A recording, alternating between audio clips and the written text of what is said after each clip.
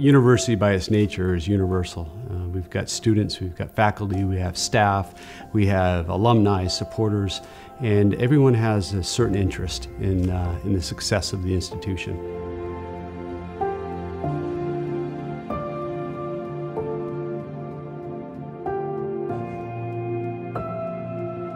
Well, almost instantly, um, there was an increase in uh, safety. Um, and, you know, as an associate dean of students at the college, the safety of the students is one of my primary concerns. And so that, that was almost an instantaneous um, uptick, um, especially in the, in the outside light areas.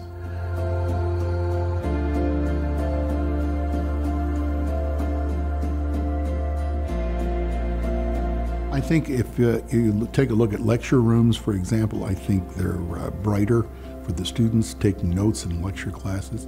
And my own personal experience has been that if there are needs for change, uh, they've been able to communicate those needs to Helios and they've come to address those needs.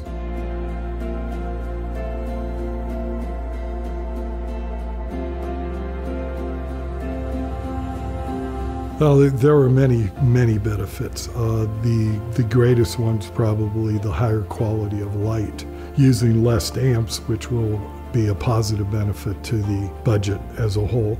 The longevity of the light of LED, it'll be several times over the life expectancy, so we will not be spending labor at all in changing lights like we have historically.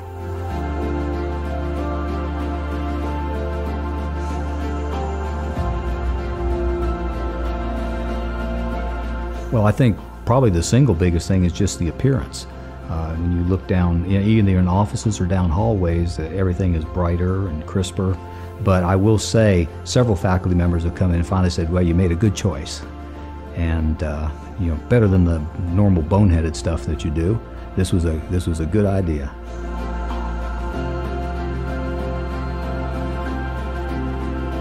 This campus is an old campus.